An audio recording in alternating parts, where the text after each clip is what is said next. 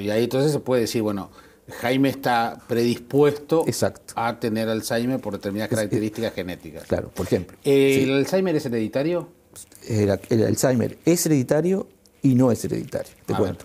hay, dos tipos de enfermedad de Alzheimer. Eh, la que se llama enfermedad de Alzheimer familiar, como ya lo dice el término, transcurren familias y esa sí es fuertemente hereditaria.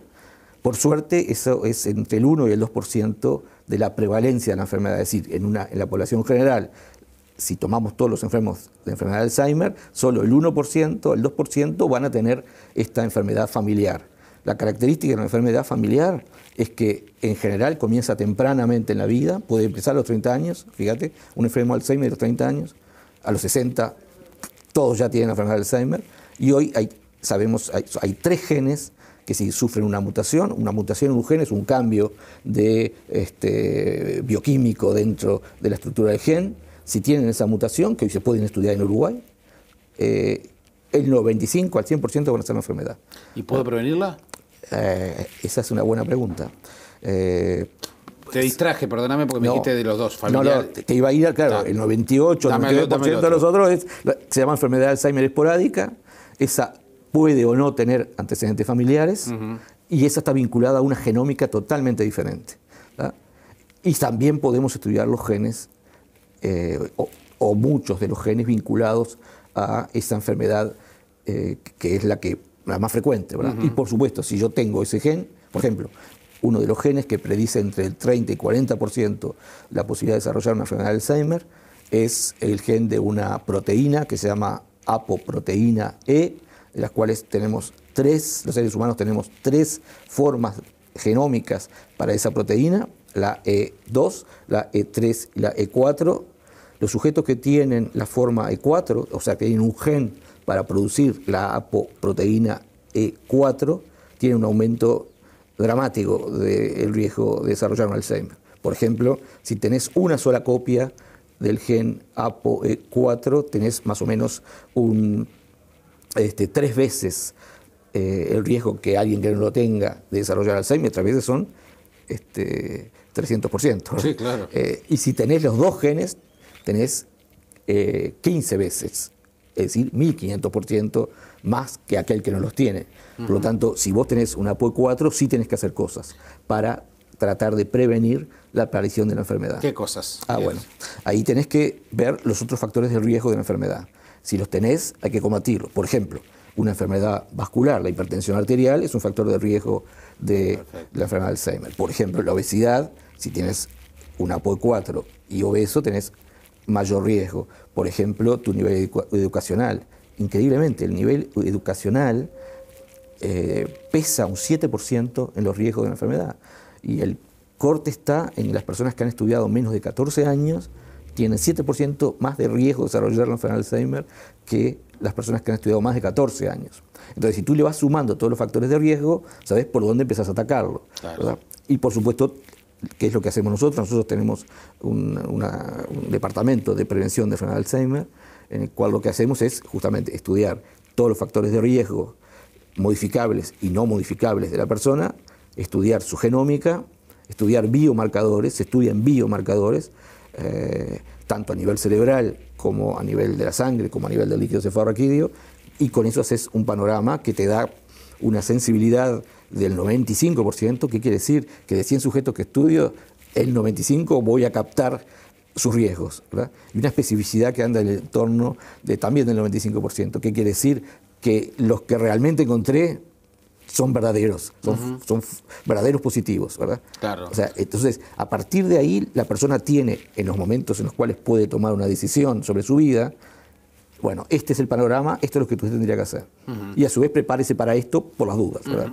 Eh, recuerdo, creo que fue el último de tus libros publicados, digo, más allá de los trabajos científicos de, divulgación masiva, el de la felicidad. Sí, ese fue el primero. Ese fue el primero, ahí va. Pero digamos, pero... Eh, ambos libros tenían el cerebro como, como que bueno, ese sí, en la tapa. Sí, ¿no? Este, la ciencia de la depresión fue el último. y después se tuvo la ciencia de la felicidad. El tema es, En la tapa de tus libros está el cerebro. Ahí estamos viendo justamente la, tapa de, no, gracias, del, del, del libro agotadísimo, además, porque es un libro de, divulgación fantástico. Pero justamente quería mostrar la tapa porque es el cerebro. Y mi pregunta es, ¿cuánto no sabemos de lo que pasa en ese órgano? Mm, qué buena pregunta. Eh, y, creo que los que escuchan se van a sorprender porque eh, uno escucha corrientemente decir, ah, del cerebro sabemos solo el 5%. Del cerebro prácticamente no sabe nada. Bueno, están equivocados. Del cerebro sabemos muchísimo. Queda mucho por saber. Pero para que tengan una idea, eh, el año pasado, el año pasado fue un año muy importante en la ciencia.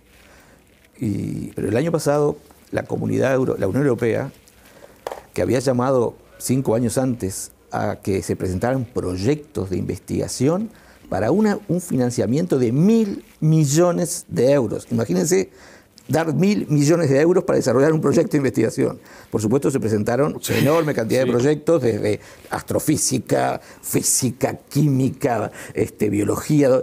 ¿Quién ganó ese, ese, ese grant, esa cantidad de dinero enorme? Lo ganó un suizo que promete que en el año 2028 va a ser el primer cerebro humano artificial. Yo no, les digo con franqueza, no creo que en el 2028 eh, eh, la investigación de este grupo logre hacer un cerebro humano artificial. Con franqueza no lo creo. Sí creo que va a ser en ciertos años. ¿Qué haría un cerebro humano artificial? Bueno, lo, lo importante es que si tú puedes tener toda la información como para producir un cerebro humano, eso implica que yo voy a poder reconstruir tu propio cerebro si tenés, por ejemplo, un accidente de tránsito, si tenés, por ejemplo, un tumor en tu cabeza, si tenés, por ejemplo, una malformación vascular que te tengo que sacar la mitad del cerebro.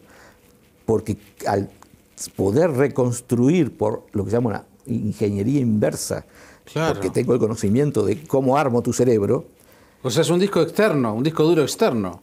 Exacto. Bacapeo tu información tengo tu información, es decir, la información de Jaime Clara, eh, que es única, la tengo continuamente actualizada fuera de ti. A ti te pasa algo, yo te hago el cerebro nuevo y te cargo la información. Porque ¿cuál es el tema? A ti hoy te pasa algo. Y aunque tengamos la tecnología para lograr que tu cerebro vuelva a ser un cerebro sano, ¿y la información? Serías como un disco duro sin data. Empezaría Jaime Clara, yo sé, a partir de los 40 años, sin información, hacer un Jaime Clara distinto al que era, por supuesto. Obviamente. O sea que es, por eso la importancia de este proyecto. Este, este, proyecto va a ser totalmente revolucionario. Si el tipo logra, bueno, fíjate que le dieron mil millones de euros. O sea, si él logra realizar y, todos los no deja de ser fascinante y todos los jurados que sos de científico digo, no, deja de ser fascinante yo aparte estoy más que fascinado porque obviamente soy un neurocientífico. Sí, claro, por eso. tal vez un, oncólogo o un cardiocientífico no esté fascinado porque la plata no va para ese lado. también le digo, y a, veces yo joro con mis amigos, ¿no? el corazón, por favor, el corazón con poquitos genes te hago un corazón, o sea, es una bomba, te puedo sacar el corazón, poner el de otro. No, el cerebro, el cerebro es la máquina más fascinante. Fíjate que Robocop lo único que no pudieron cambiarlo fue el cerebro, o sea. Eh, por eso, esa pregunta que tú hacías, de qué sirve poder producir un cerebro humano artificial y sirve para, sirve para eternizarnos, por ejemplo. Porque cuando nosotros podamos vivir fuera de nuestro cuerpo, porque nosotros, por supuesto que somos nuestro cuerpo, pero no somos solo nuestro cuerpo. Alma, mente, cuerpo. Ahí está. digamos que, desde el punto de vista neurocientífico, esos términos no los usamos. este, eh, usamos conciencia. Eh, lo que llamamos alma o mente para los neurocientíficos es la conciencia, que es sí un, espacio eh, virtual que produce nuestro cerebro, donde ahí podemos ir poniendo diferentes tipos de información para poder operar en el mundo de la realidad que construimos. pero entonces cuando podamos tener a nuestro lado un, cerebro que nos representa a nosotros y que podemos vivir fuera de nuestro cuerpo, vamos a ser eternos. Tu libro Ciencia eh, de, la, Depresión, el anterior vinculado al tema de la, de la felicidad, son dos, dos circunstancias muy actuales, muy actuales. Por un lado, el ser humano busca la felicidad a través de muchos mecanismos. Yo lo podré encontrar en un cuento de Cortázar. Otros necesitan este, de fármacos o del alcohol o de las drogas o lo que fuera. Pero también por otro lado, esa euforia que a veces se encuentra artificialmente también genera depresión, para lo cual artificialmente a través de fármacos se, lo combate. Uno siente que es un tire y afloje del, del, cuerpo humano, del cerebro. ¿Qué opinas de, ese momento que estamos viviendo? Y bueno, eh, primero, la búsqueda de la felicidad está desde los albores del desarrollo de la especie humana, ¿verdad? Sí, pero desde el punto de vista eh, neurocientífico. No, no, claro. Eh, el hecho que ha sido siempre muy difícil lograr esa armonía por la cual nos sentimos felices.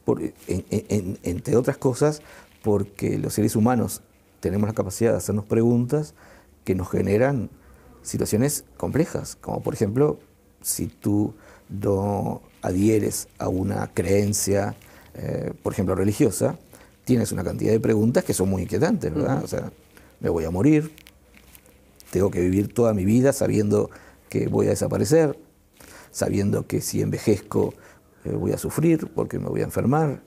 Eh, es decir, nacemos ya con una cantidad de preguntas que nos hacemos que nos alejan de la posibilidad de esa armonía para ser felices. Y por supuesto que el hombre ha ido buscando diferentes alternativas para eso, incluso el hombre primitivo, ¿verdad? El hombre primitivo que buscaba eh, explicar eso que no podía explicar desde el conocimiento a través, por ejemplo, de la fusión espiritual con un Dios, usando tal vez para ello eh, determinados rituales y o productos que sacaba de la naturaleza, que producían una disociación de su conciencia y que era como una vía de acercarse a los dioses. ¿verdad? Y bueno, el hombre moderno, el hombre actual, sigue buscando esa felicidad usando, como tú decías, diferentes mecanismos. ¿verdad? Eh, yo creo que eh, la felicidad como armonía se puede lograr si uno tiene una actitud activa para tratar de entenderse a sí mismo, tanto desde el punto de vista biológico y usar todo lo que la medicina actual nos brinda para mantenernos sin ruidos en nuestra biología, pero desde el punto de vista psicológico también, si uno ve que tiene determinadas conflictivas, ¿verdad? que tiene problemas adaptativos, problemas vinculares, no quiere decir que tenga síntomas, simplemente normalmente uno funciona y ve que mm, hay cosas que me cuestan. Hoy se puede buscar ayuda, buscar ayuda seria, ¿verdad? A través de una psicoterapia, por ejemplo.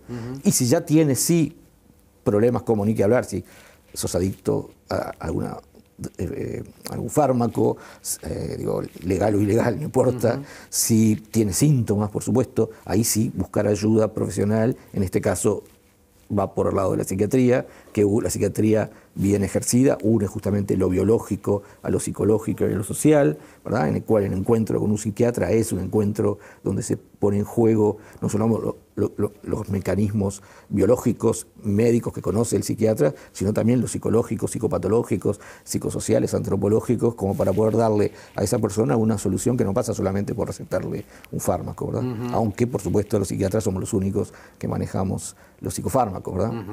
no, no, los únicos, otros médicos lo pueden hacer, pero los psiquiatras estamos entrenados especialmente para eso. Exactamente. Eh, Álvaro, ¿y hay, hay, hay males como la depresión, por ejemplo, que se ponen de moda? Sí, sí, sí, porque...